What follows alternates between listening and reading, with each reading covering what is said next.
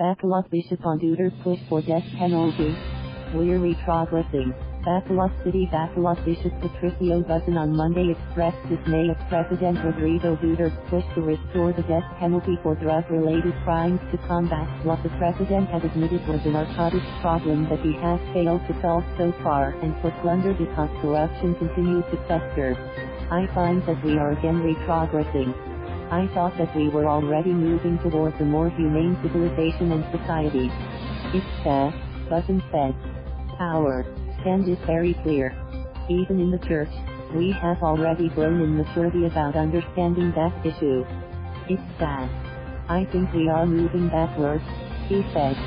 In his fourth State of the Nation address, Duterte listed the restoration of death penalty on the top of his wish list for Congress. Capital punishment, Duterte said, should also cover plunder.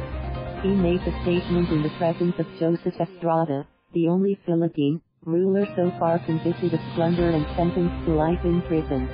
He was pardoned by his successor, Gloria Macapagal Arroyo, who herself was sent to jail for but acquitted of the plunder charge. Slash TSB. Thank you for watching. Please subscribe.